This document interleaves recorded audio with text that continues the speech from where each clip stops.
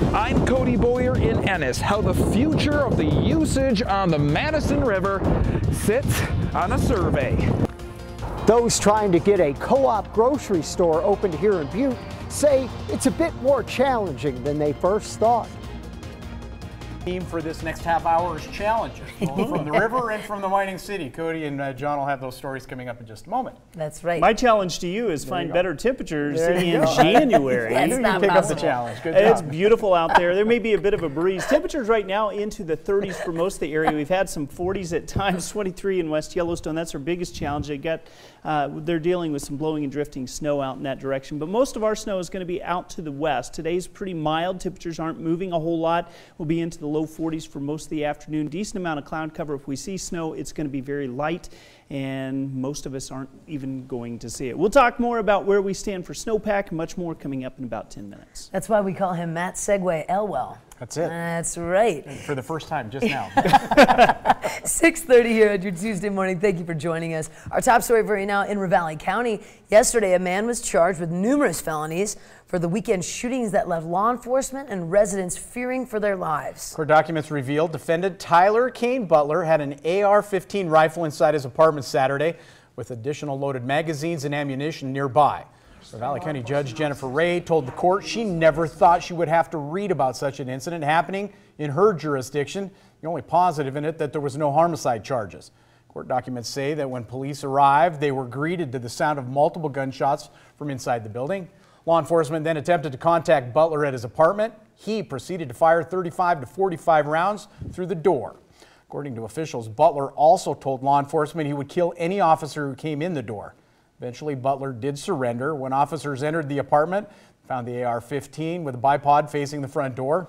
Assault rifle was still smoking from repeated use. There were additional loaded magazines next to it. Now, in an interview with police, Butler said he was upset over an argument with his girlfriend. Closer to home now, a pickup truck tumbled into the golf course at the Butte Country Club yesterday after being involved in a two-vehicle crash. Now, the pickup truck smashed through this fence, landed upside down on the cart path at the golf course after it was involved with an accident with an SUV at the intersection of Elizabeth Warren Avenue and White Way. The man driving the pickup was taken to St. James Healthcare by a relative, and the driver suffered minor injuries. Now, the woman that was driving the other vehicle was not reported injured. Police say that the crash does remain under investigation. Staying on topic, the Montana Highway Patrol reports there has been little change in the number of fatal crashes or deaths on the state roads in recent years. Now, preliminary crash data for 2019 shows 167 deadly crashes around Montana during the year, with a total of 185 fatalities. Now, this compared to 182 deaths on the road in 2018 and 186 the year before. Colonel Tom Butler with the Montana Highway Patrol chief said there that there is still troubling number of crashes linked to alcohol and where seatbelts are not being used. We talked about it a moment ago. Yesterday was the final day for public comment on a scoping plan for the Madison River. Now, a lot of reviews are already in, and let's just say it's a mixed bag. MTN's Cody Boyer spent the day along the Madison River, and he has more on that story. On a scale of 1 to 10, the river is definitely a 10 in my heart. It's an issue that longtime Ennis native and Blast and Cast outfitter owner Todd France says anglers like himself saw coming. I think everybody did. The writing was on the wall a long time ago. The survey covers several different areas of focus, from social conflict and angler activity to commercial use on the river. Yet when France took it, he says it felt more narrow than broad. I just, I feel like when I got done completing the survey, that I was given a bunch of not so great answers to come up with a conclusion of of what they wanted. He's not alone. In part of a statement written to the FWP Commission, the board of the Madison Gallatin chapter of Trout Unlimited says, in their opinion, quote, the online questionnaire appears to place FWP, the outfitting community, and the recreational public against one another, end quote. France says while he understands the task that sits before the FWP, it could be done differently. Not that Fish, Wildlife, and Parks doesn't have valuable answers, but um, I think there's also people that are out there that would be more than happy to help them out. FWP Region 3 spokesperson Morgan Jacobson says the task isn't simple, yet over 7,000 surveys have been submitted, a promising sign. This is a really good opportunity to provide your insight, your experience. And while the survey won't end in a decision, France knows it's the first stepping stone. And no matter what happens, France's memories of the Madison won't change. I wish everybody was so fortunate enough to be eight years old and the Madison River to be their babysitter. It was a wonderful place and it still is.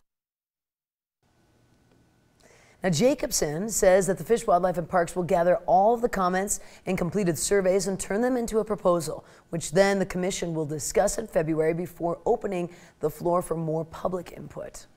Well, with the new year comes a new batch of students at Montana State University and a fresh reminder for safety. MSU officials say they have an app for that. Launched last fall, MSU's SafeCat app puts nine different emergency services all in one place, including campus maps, location services in the event of an emergency situation, a flashlight, and even the ability to send out a message to loved ones that you are okay.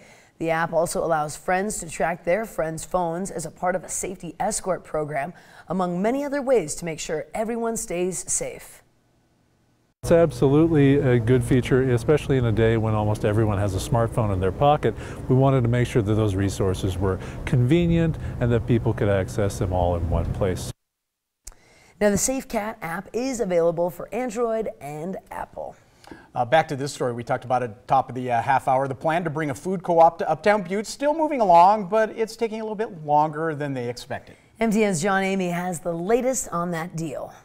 Butte still has big plans to start a community-owned grocery store, but it's proving to be a bigger challenge. The more we dig into it, um, the more we realize, wow, there's a lot of issues we didn't weren't even aware of. The idea to start a cooperative grocery store somewhere in Uptown Butte was first proposed last June. It received support from hundreds of people. So far, the steering committee needs to find a location before it can move forward. It's really going to depend on the location we find and what sort of arrangements uh, we can make in terms of a lease, uh, how much work might need to be done. Officials still need to set up a board of directors for the co-op and try to determine what kind of store it hopes to open in Butte. Do we want to be a, um, a real grocery store for folks, or do we want to be more of a sort of a bodega or just a neighborhood grocery store where you stop in and get a few items? Um, or do we want you to fill up your cart? Initial support for a co-op here in Butte was so strong last summer, officials thought they would have one open by this spring. But now they say that goal was too ambitious. It's not going to happen as fast as we originally thought it would, um, but we feel like we're doing our due diligence and that um, the pieces are falling into place. We still got some hard decisions to make. In Butte, John Emeigh, MTN News. Now, the steering committee is seriously looking into a possible location, two possible locations, I should say, for the co op, and they'll be meeting on that issue next week. Another public hearing is expected to be set next month. Uh, by the way, over the weekend, the Montana Sheriffs and Peace Officers Association held its second fundraising event, collected nearly $26,000 to benefit the family of Gallatin County Deputy Jake Allmendinger. Allmendinger was killed in the line of duty back in October after responding to a call of a stranded motorist up on Fairy Lake Road in the Bridger Mountains. The fundraiser was held on Saturday at Journey Church in Bozeman. They had more than $20,000 in raffle items donated from local businesses and supporters in the community. Now, all of those proceeds from the event went directly to Allmendinger's wife and three children. That's fantastic. Yeah. Well done. All of you who donated, thank you. It's a, it's a big deal. And their GoFundMe is rated about $55,000, $56,000. So. Still still making money. well. Yep, yep, that's right. It is time for a quick break. Thank you so much for joining us here on your Tuesday morning. Coming up, Australia on fire. Thousands of homes lost. Around 450 million animals, 24 lives claimed, and an estimated $480 million in damage. Coming up, weather relief and monetary donations, help from around the world are helping. But first, let's check in with Anthony Mason to see what's coming up at 7 o'clock on CBS this morning. Good morning. Ahead on CBS this morning, the U.S. braces for possible retaliation from Iran. Hear from Iran's foreign minister who says a response will be direct and proportional. Plus, we talk with military families given just 18 hours before deployments to the Middle East.